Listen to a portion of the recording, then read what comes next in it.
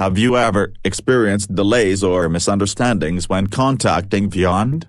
Let's explore the importance of clear communication.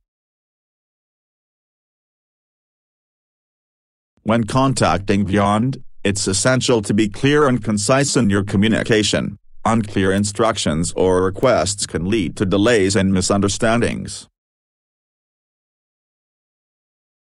For example, if you're requesting a custom character, provide all the necessary details upfront.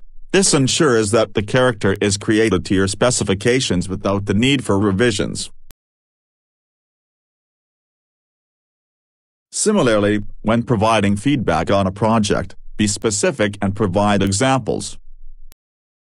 For example, if the cast voices were retired and you want them back, this helps the Vyond team understand your vision and make the necessary changes. By communicating clearly, you can save time and ensure that your project is completed to your satisfaction. Remember, good communication is key in customer service. So, let's prioritize clear communication when contacting Vyond.